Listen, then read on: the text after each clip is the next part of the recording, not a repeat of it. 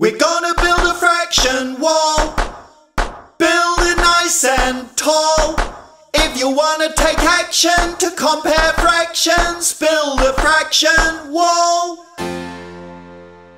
Let's compare one third to the other fractions on the fraction wall and see if we can find any combinations that are equivalent or equal to one third. One half is greater than one third, so we can't make an equivalent fraction to one third out of halves. Let's try quarters. One quarter is less than one third, and two quarters are greater than one third. So again, it looks like we can't use quarters to make an equivalent fraction to one third. One fifth is less than one third. And two fifths are greater than one third. So we can't use fifths to make an equivalent fraction to one third. One sixth is less than one third but 2 sixths are equal to 1 third.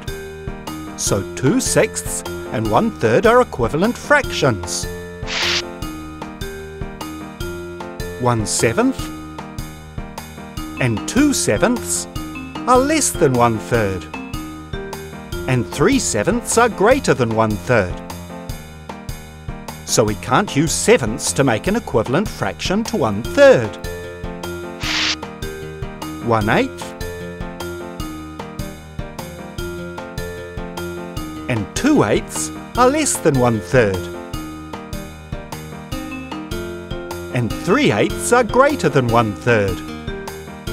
So we can't use eighths to make an equivalent fraction to 1 third.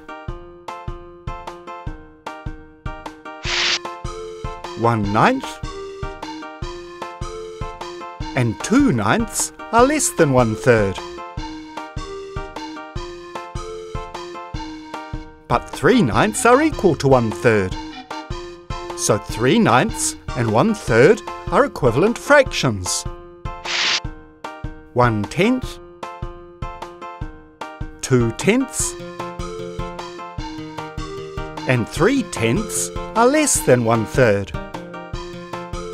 And 4 tenths are greater than one third so we can't use tenths to make an equivalent fraction to one third.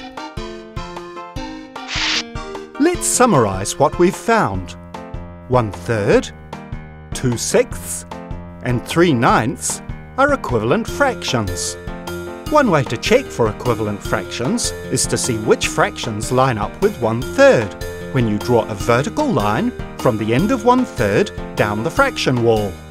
The ends of two sixths and three ninths line up nicely with one third.